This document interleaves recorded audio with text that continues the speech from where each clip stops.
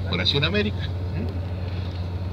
Cuando estaba el señor Kirchner con vida, cruzó a Chile y con la señora Bachelet, que estaba en su primer gobierno, ¿se acuerdan la presidenta de Chile se llamaba Bachelet?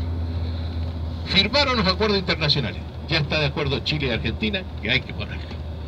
Regresa Kirchner a la Argentina y lo agarró Moyano. Y Moyano le dije, yo te ayudé ¿eh? con la campaña. Acuérdense que es cierto eso. Kirchner se valió mucho Moyano para llegar arriba. Y ahora vos me querés cortar.